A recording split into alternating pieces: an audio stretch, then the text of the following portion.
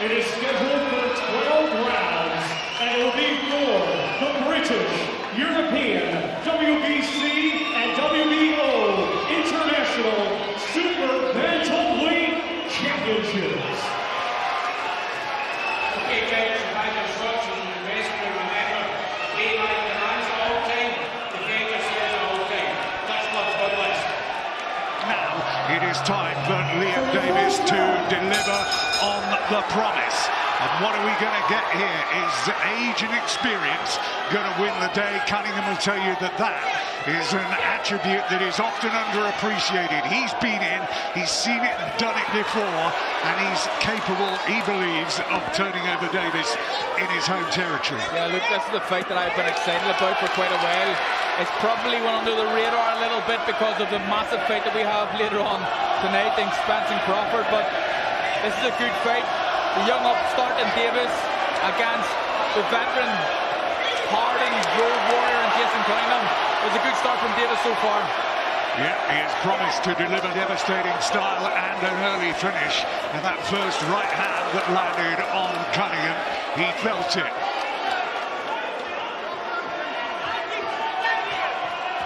What he needs to do, Cunningham, is just slow things down a bit, take some of the atmosphere and the heat out of the, the crowd here, quieten things down, and then get to work on his job, his strategy.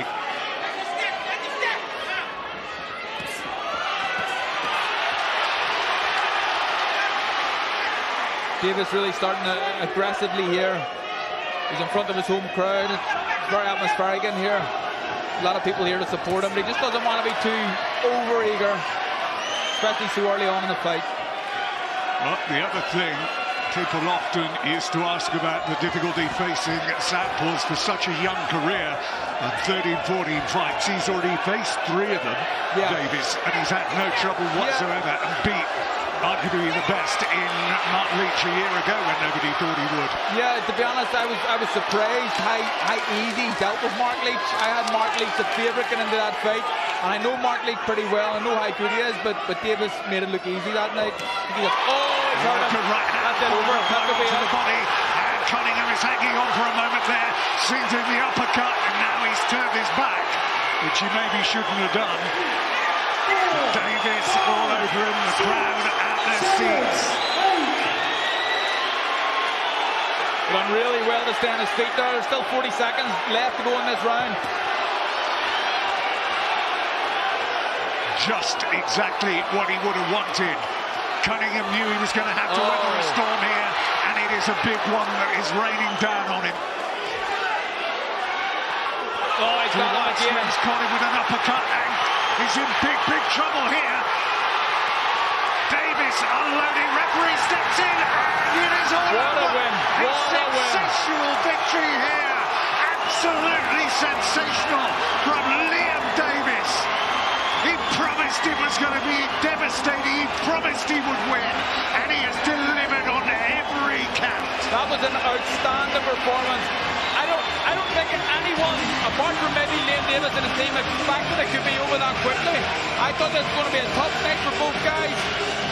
I kind of always was leaning towards Davies. I fancied him to win the fight, but I never ever in a million years thought he would do it that quick. To such a, a good, tough, hard veteran in, in Jason Cunningham. That was a fantastic performance.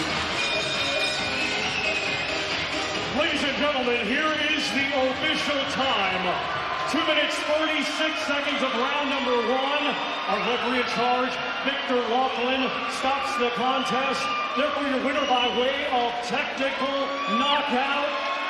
Still undefeated, and now the British, European, WBC, and WBO International Super Bantamweight Champion, Liam Dangerous Davies.